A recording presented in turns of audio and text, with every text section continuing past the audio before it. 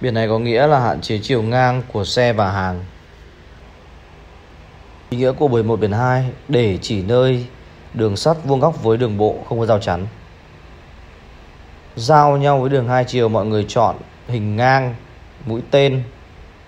Biển báo hiệu đoạn đường có trẻ em đi ngang qua là biển 2. Hai trẻ em dắt tay, dắt tay nhau. Nói gấp. Biển này có ý nghĩa là báo hiệu cho người lái xe biết số lượng làn đường trên mặt đường hướng đi mỗi làn đường phải theo. Rẽ vào đường cụt biển 1 và biển 2 thì rẽ vào đường cụt. Biển 3 là đi thẳng vào đường cụt. Cho đáp án 1 biển 1 biển 2.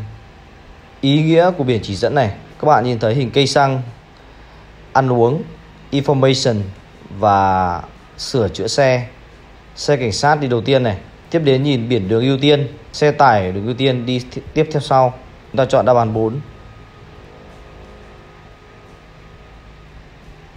Xe công an, xe tải. Tiếp đến xe khách và xe con. Câu này rất dễ sai.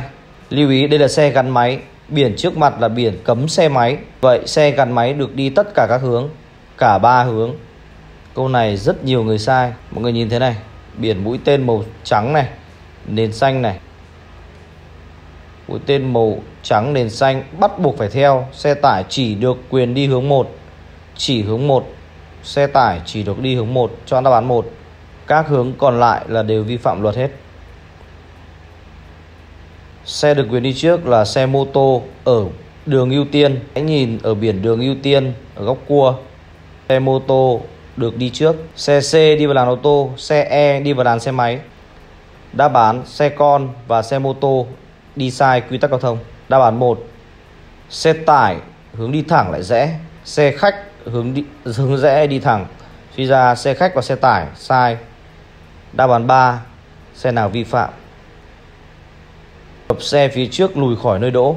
Các bạn phải giảm tốc độ, dừng lại và nhường đường. Đây là đáp án hợp lý nhất.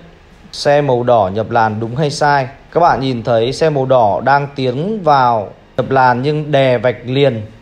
Vì vậy sai. Vì đè vạch liền, phải ra